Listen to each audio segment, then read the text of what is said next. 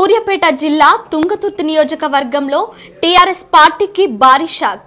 తెలంగాణ ఉద్యమం ప్రారంభ దశ నుండి పనిచేసిన పలువురు టీఆర్ఎస్ నాయకుల రాజీనామా. రాజీనామాలు ఉంటాయి. మూడు నాలుగు రోజులు.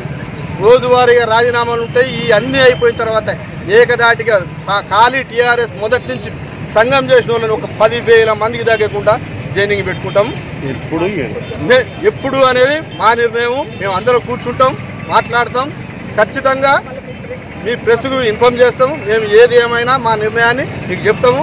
ఖచ్చితంగా ఈ రో- ఈ రోజు ముప్పై నాలుగు మంది ప్రజాప్రతినిధులమే రాజీనామా చేసినాం ముప్పై నాలుగు మంది ప్రజాప్రతినిధులమే రాజీనామా చేసినాం రే రేపు కూడా ఇదే రకంగా ఉంటుంది. రేపు కూడా కొంతమంది ప్రజాప్రతినిధులు చేస్తారు.